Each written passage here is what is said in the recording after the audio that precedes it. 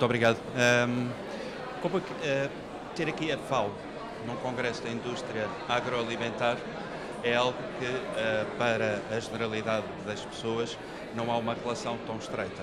Em que é que a FAO, uh, uma organização como a FAO, colabora com a, com a indústria agroalimentar e vice-versa?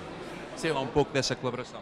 Hoje é mais óbvio e mais claro, porque as políticas mudaram, o sistema de parcerias também mudou e nós temos hoje consciência de que a indústria agroalimentar joga um papel fundamental não só para a disponibilidade de alimentos, mas também para questões ligadas ao acesso eh, à utilização e à estabilidade. E tem um papel fundamental também na redução do desperdício. E é um parceiro com que temos que contar para o futuro. Sabemos que cada vez mais os sistemas alimentares integram novos atores na área do processamento, na área da industrialização e, e há muitas iniciativas uh, criadoras, portanto, no campo do, uh, do, do, da cadeia de valor dos alimentos que vale a pena ter em consideração e as Nações Unidas uh, tem agora o setor da agroindustrial como um parceiro fundamental. Qual é o, o status neste momento, quer em Portugal, quer no mundo, dessa colaboração? É, o status, nós, por exemplo, temos uma colaboração muito efetiva com a FIPA, aqui em Portugal.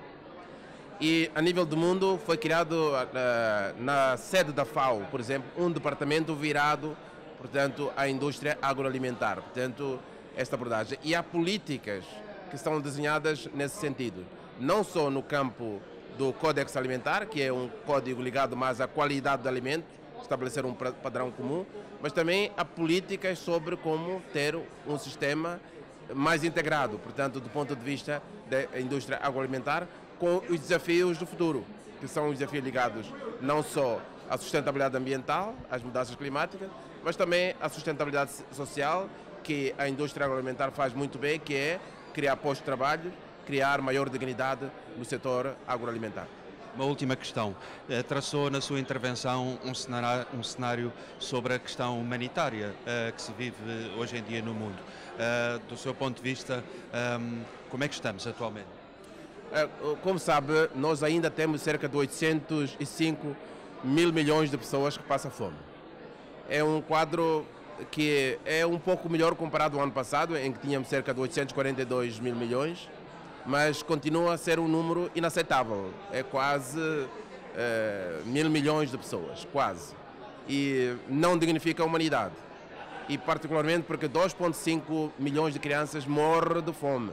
Portanto, no mundo é, com tantas oportunidades, com tanto potencial tecnológico, há coisas que não deviam ser permitidas. É, questões que ferem a dignidade da própria humanidade. Portanto, estas questões são fundamentais é, é tão importante combater a fome, como é importante combater também é, o aquecimento global, que é um desafio também que eu apresentei, e que também fere, portanto, toda a perspectiva do desenvolvimento da humanidade. Muito obrigado. Muito obrigado. Muito obrigado.